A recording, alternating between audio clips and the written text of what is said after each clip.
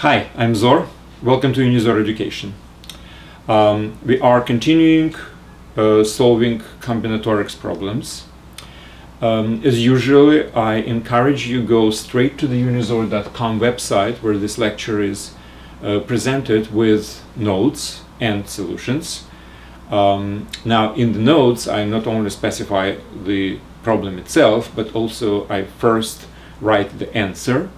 So it's it would be great if you can just try to solve your problem, this problem yourself, and then check it against the answer which I which I have there. Um, and well, if it's you know the same answer, that's great. Um, then you can just either read the notes where my logic is explained or listen to the lecture or, or, or, both. But what's very important is to do it, at least to try to do it yourself first. All right. So that's my usual encouragement for all the problems. Try to do it yourself because that's the only purpose. You have to do it um, yourself. Now, I'm explaining um, uh, for, for one purpose, as far as I understand, the more problems, even if you don't solve it yourself, but you try, and the more problems I, I explain the solutions, the better chances are that all this methodology can be used by you for new problems, right? So that's what we are doing. Now, today problems, four problems, let me just start one by one. Okay, number one we have, okay, we have two n different objects. And we would like to break them into n pairs.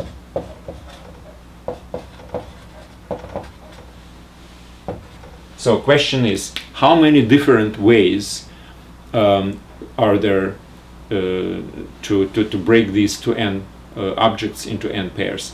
And uh, I do not differentiate the pairs like object A and object B, this is the same pair as B and A. So pair is not ordered pair, it's just a pair, right? So question is how many times, um, how many different ways of uh, dividing these two n elements, to n objects into n pairs. Now, let's think about it this way.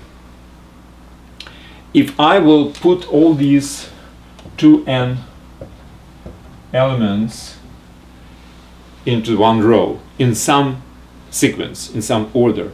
And then I just separate them into pairs by basically having number one and number two. This is the one pair. Number three and four is another pair. Four and five, third pair, etc., etc. Now, well, obviously, we, we do have some kind of um, distribution of my to n objects into pairs. Now, if I will permute all these um, objects in this particular order and, and, put it in some other order, I will definitely have different distribution. Well, but is it really different? If I will have a permutation where only these two objects, for instance, are exchanged places, then I basically have exactly the same distribution of my two n objects into pairs, right? So somehow I have to account that not all permutations of two n objects produce different distributions. And by the way, there are two n factorial of these uh, different permutations, as we know, right? So some of them are really producing exactly the same distribution of pairs. Now, which ones? Well, all the permutations where I can change these two places, and this is 2, number 1, number 2, or number 2, number 1. Now, with each of them, I can have these in different order, and it still is the same um, distribution by pairs. So it's another 2, and then another 2. And how many pairs are there? Well, that's how many times I have to multiply by 2, right? Well, sorry, not multiply, divide obviously. And this is 2 to the power of n. Now, I'm dividing because I'm reducing the number of um, different distributions of my 2n objects into n pairs. So that's why I have divided by 2. if I take into consideration that I can reverse this order, I can reverse this order, etc. And there are n different pairs, so n different times I have to multiply 2 by 2 by 2 by 2 to factor down my total number of distributions. So that's the answer.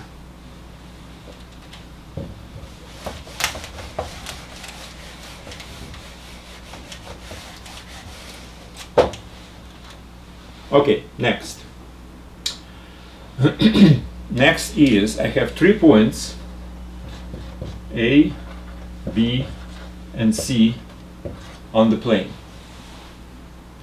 Now, through point A, I have x different lines. Through point B, I have y different lines. And through point C, I have z straight lines.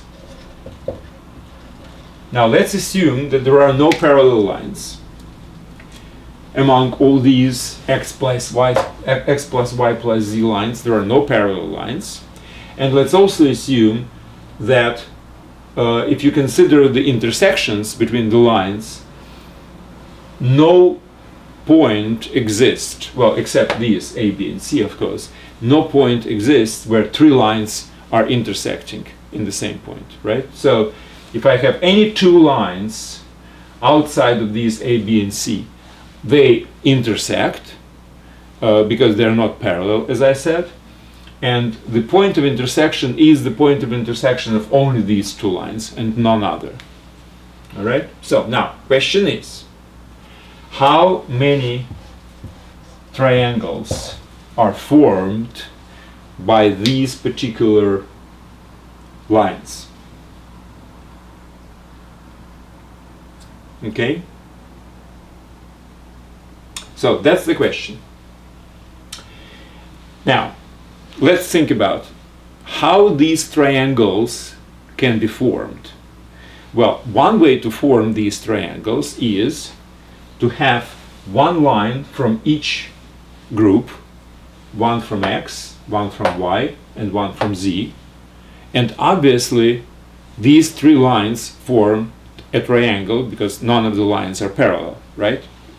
So how many choices do I have if I would like to count only triangles built from the lines belonging to three different groups? Well, obviously, X choices for the first line, times y choices for the second line and times z choices for the third line. So if I'm counting only triangles built from all different uh, groups, it's x times y times z, right?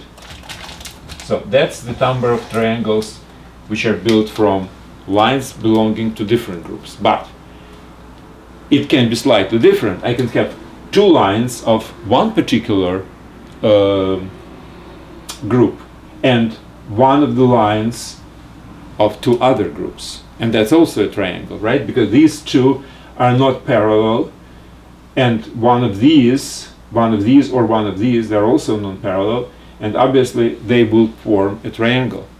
Now, there are three actually different ways. I can take two uh, lines from group A and then any of these, any one of these and any one of these.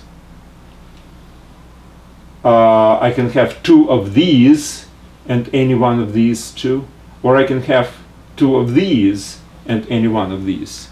So what is the total number of such triangles? Well let's just consider. How many choices of a pair of lines here I have? Well if altogether I have x different lines and I need to pick two that's C number of combinations from x by 2. Now, so I have a pair. Now, this pair can be combined with either these or these. One line out of these. And how many of these are? y plus z, right? So I have to multiply it by y plus z.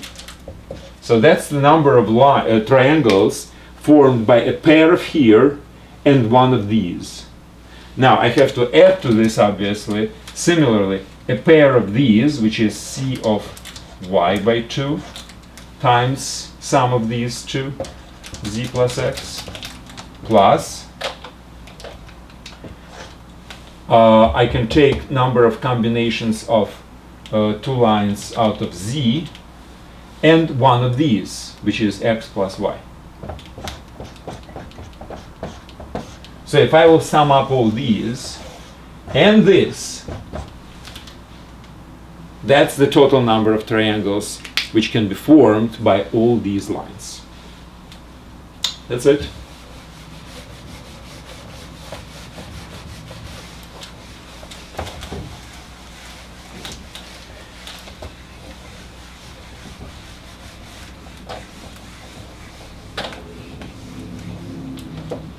Now, by the way, I did not mention it before, but if you come up with some different logic, different way to come up with the same number, uh, by all means send it to me and uh, I will put it on, on the web with reference to your name if you want to.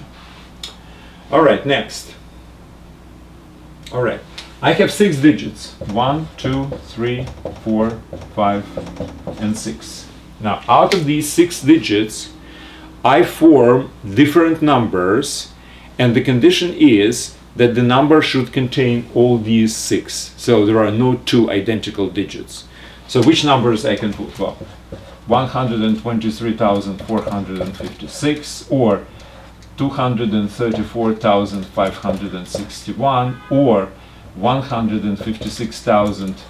156,234, etc. These are all the numbers which contain just exactly these six digits in some order. Well, what I would like to know is, I would like to have a sum of all these numbers. And there are a lot of them, right? Well, it's an interesting task and, uh, well, question is how to approach it. Here's what I suggest.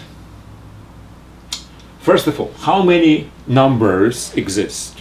Well, obviously it's the number of permutations of six objects, right? Which is 6 factorial, which is 720. 1 times 2 times 3 times 4, 24 times 5, 120, and times 6. Okay, fine. Okay, so I have a column of numbers uh, and the column contains 720 lines and I have to summarize them together. Well, let's continue. let's continue each individual uh, small column of width 1. Well, I have number 6, I have number 1, I have number 4, I have some other numbers, right? Well, the total number of numbers is 720, obviously. Now, how many of them are 6? How many of them are 1? How many of them are 4? Well, obviously each digit is supposed to be repeated exactly the same number of times as the other digit, right? So I have 6 digits, different digits, and I have 720 rows, which means that every digit occurs in in 120 different lines. So I have 120 times 6 repeated somewhere here, 120 times 1, 120 times 4, and 120 times 2 and 3 and, and, and 5 or whatever else, right? So that would make my total number of digits exactly the same for each digit and each digit, each digit appears 120 times. So if I will just summarize one column, the very last column, I will have 1 120 times plus 2 120 times plus 3 120 times plus 4 120 plus 5, 120, and plus 6, 120, which is the same thing as 1 plus 2 plus 3 plus 4 plus 5 plus 6 times 120. So that's the number if uh, which, which I can get if I will summarize all the digits in the first column. Now, whatever that number is, and I, by the way, I did calculate it uh, in the notes for this lecture at unizor.com, you can check what this number actually is. Now, whatever this number is, let me call it P. doesn't really matter. You can just calculate it. Because this sum is what? Uh, 3, 6, uh, 10, 21, right? So it's 21 times 120, whatever it is. So let's call it P. Now, what will be if I will summarize the digits of the second column? Well, it will be exactly the same number, P, right? However, what's interesting is that this particular, the, the, the first digit has a weight 1 in, in the uh, positioning, decimal positioning system. The second digit has the weight 10. The third has the widget 100, 1000, 10,000, and 100,000.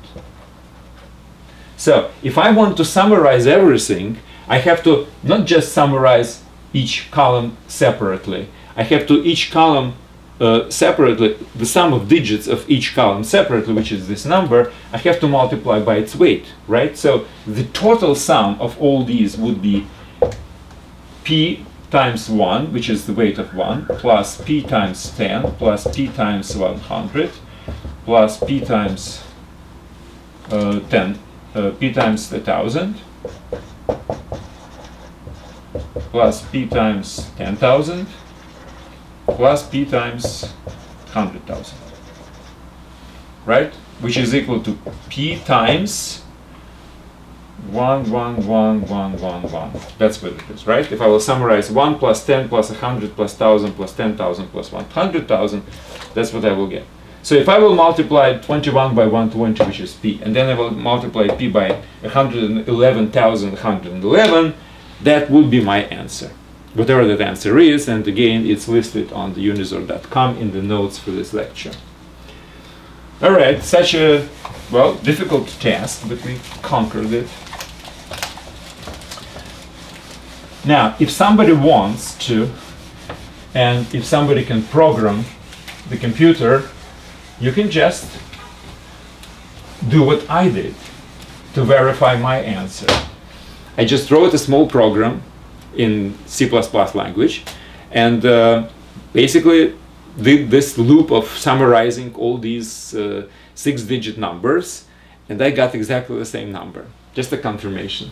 I was curious, you know. All right, um, next.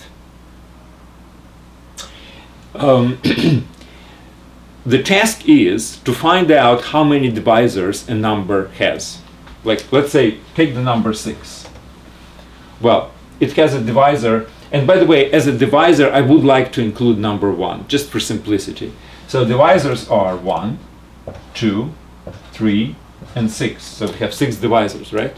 Now, how can I calculate for any given number how many divisors it has? Well, first of all, what's very important is to represent the number as a, uh, product of prime numbers. I mean, that's, that, that's the essence of um, calculating the number of divisors. Like, for instance, 6 is equal to 2 times 3. These are two prime numbers. So let's just think about number 2 can be either absent or present with a power of 1, right? So it can be either uh, 2 times uh, 2 uh, in, in, the power of 0 or 2 to the power of 1 and 3 also can be either in the power of 0 or 3 can be in the power of 1 so we have four different variations. Now 2 uh, to the zeros and 3 to the zeros together they give 1 2 to the zeros and 3 to the first give 3 2 to the first 3 to the zeros gives 2 and 2 to the first and 3 to the first gives this. Now, what if you have a little more complex case? Let's take 12. Again, 1, 2, 3. Now 4 is also a divisor, and 6 is a divisor, and 12, right? So we have uh, six different divisors, right? So how can we obtain this from the number 12 if I will represent 12 as 2 times 2 times 3. These are prime numbers, right? Or a little bit shorter 2 square times 3. Well, let's just think again. if this is the representation of the whole number, then I can have 2 in either 0 or first or the second power, right? And 3 I can have with either 0 or first power. Well, let's combine these three choices and these two choices and we can have all the combinations and we will have exactly 6. 3 times 2 is exactly 6 number of choices. This and this gives me 1. This and this 2 and 3 to, uh, gives me this. This and this give me this. What else? This and this gives me this. Uh, this and this gives me this. And this times this gives me this. Alright, so I have obviously all the choices. So here is the general uh, explanation of the problem which I have at hand. Let's consider you have some number oops, which is represented as a product of prime numbers in some power. Prime number 2 in the power n2, prime number um, n, well, let's call this number x. I'll have x uh, to the power n n. So there are n different prime numbers in different powers and all together as a product they represent my number x. Now the question is how many divisor, div divisors this particular number x um, has. Well, um, very simply. Um, since these are maximum powers, my these prime numbers um, can actually be included uh, into the combi different combinations to, to, to provide uh, divisors. So divisor is basically any combination of these, right? So I can have P1 in different power from 0 to N1. I can have P2 from 0 to N2. So basically, these are all the different choices which I have, which I have to make to construct my divisor. So P1 in any power from 0 to N1, P2 in any power from 0 to N2, etc. So if I will combine whatever I have chosen I will have a divisor, obviously, right? Because any divisor is a combination of the same P1, P2, etc., Pn in some powers. Well, so how many choices do I have here? Well, obviously I have n1 plus 1, right? From 0. I start from 0 and end with n1. Now, with each of them, I can have as many as n2 plus 1 choices for the second prime number, etc. And uh, this the last one would be this.